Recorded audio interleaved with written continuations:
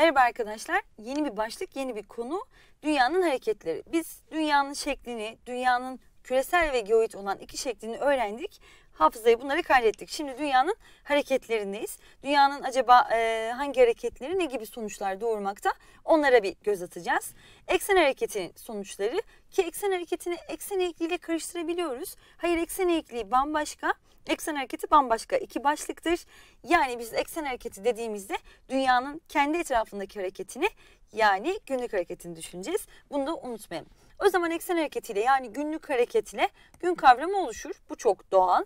Gece gündüz birbirini izler ki bu ardalanır diye de karşımıza çıkabilir. Ardalanmak birbirini takip etmektir. O yüzden gece gündüzün birbirini izlemesi de ardalanması da aynı şeyleri bizlere verecek. Peki Hemen bir not girmek istiyorum araya. Burada diyoruz ki gece gündüzün oluşumu dünyanın şeklinden kaynaklıdır.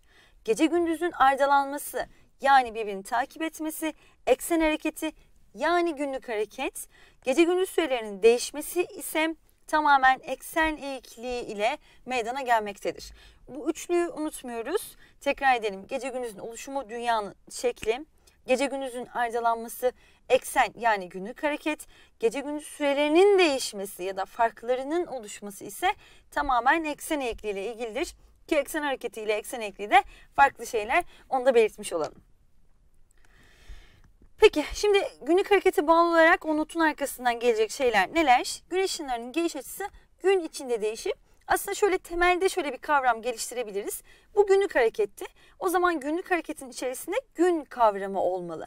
Yani gün kavramının olduğu birçok sonuç günlük hareketinde sonucu olarak karşımıza çıkacak. Orada bir kolaylık sağlayabilir size.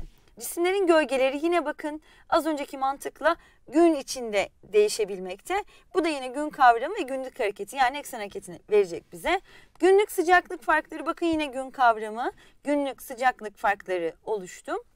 Bunu yıllık harekete uyarlarsak hemen ekstra bir detay olsun sizin için.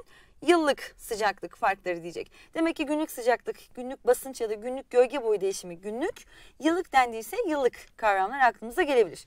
Günlük basınç farkları, mekanik çözülmeler, sürekli rüzgarlarda sapmalar, okyanus akıntılarında halkalanmalar, 30 ve 60 enlemlerindeki dinamik basınç alanlarının oluşumuna eksen hareketi yani günlük hareket sebep olmaktadır. Arkadaşlar bunu da unutmayalım. Burada açıklamak istediğim bir şey var. Mekanik çözülme ilerleyen bölümlerde sıkça bahsedeceğiz. Ama yeri gelmişken hemen mekanik çözülmenin aklınıza soru işareti bırakmaması için şöyle diyebiliriz. Mekanik çözülme dediğimiz daha çok çöllerde Çöl dediğimiz nedir? Sıcaklık farkının gün içerisinde çok fazla olduğu alanlardır. O zaman mekanik çözülme gün içerisindeki sıcaklık farkının fazla olduğu alanlarda görülür. Bu da günlük sıcaklık farkının fazla olması. Yani gün kavramı olduğuna göre yine mekanik çözülme günlük hareketin sonuçları arasında gösterilmeli. Hemen yine önemli bir notumuz var. Dünya nereden nereye dönmekte?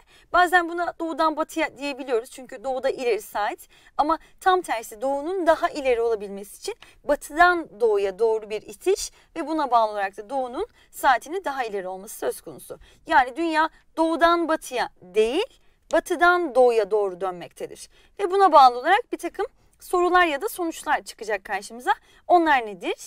1. Doğuda yerel saat ileri, batıda ise geri. Bu değişmez bir bilgi. Aklımızda tutuyoruz. 2. Tarih değiştirme çizgisinin doğusunda tarih bir gün geri. Bakın doğusunda fakat batı boylamları olduğu için doğuda tarih bir gün geri. 3. Sürekli rüzgarlar kuzey yarımkürede sağ, güney yarımkürede ise sola sapmaktadır.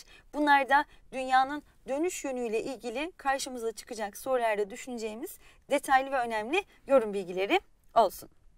Müzik